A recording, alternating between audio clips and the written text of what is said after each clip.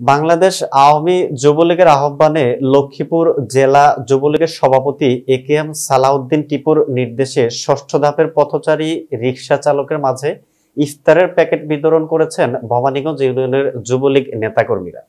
বিকেলে, অর্থাৎ ইফতারের আগ মুহূর্তে ভবানীগঞ্জের চকবাজার এলাকায় এই ইফতার বিতরণ করা হয়।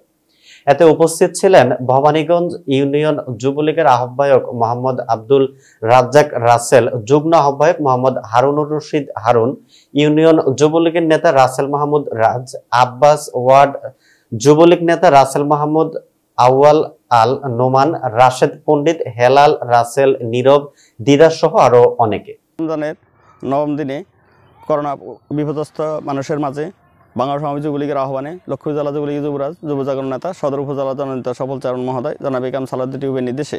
বনিন যুবলীগের উদ্যোগে ববনগঞ্জ ইউনিয়ন অন্তর্গত চকবাজারে আমরা নিরীহ অসহায় মানুষের মাঝে ষষ্ঠবারের মতো ইফতার বিতরণ করেছি। মানবতার কল্যাণে আমাদের এই সাহায্য অব্যাহত থাকবে, ইনশাআল্লাহ।